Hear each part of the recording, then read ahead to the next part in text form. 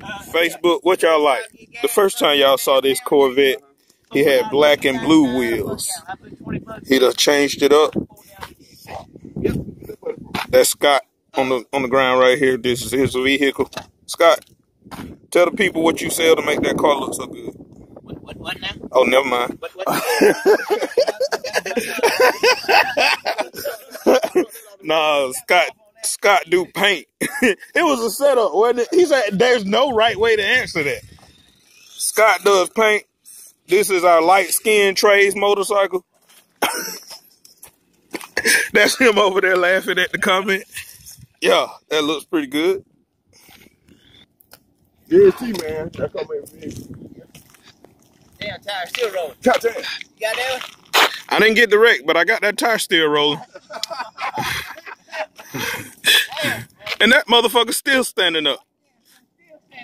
That's a good balance. balance, though. Yep. Thanks, Trey. All right, man. Enjoyed it.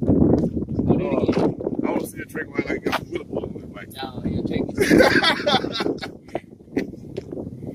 Scott said he ain't painting it again. No, no, no. Uh-uh. No. About how many hours you think in that paint job?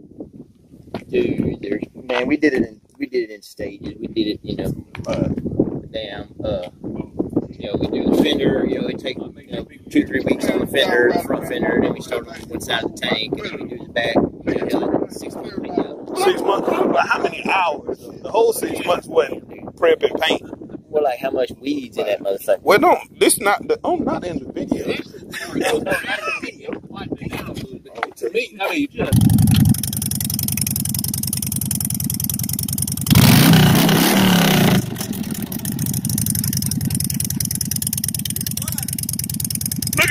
at the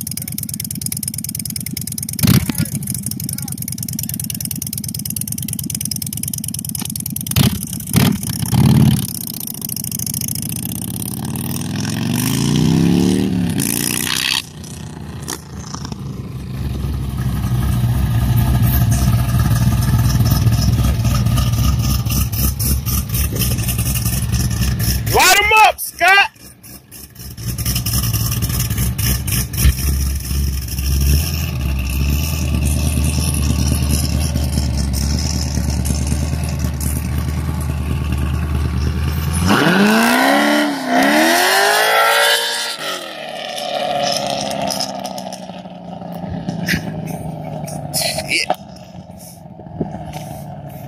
Back to reality. The truth.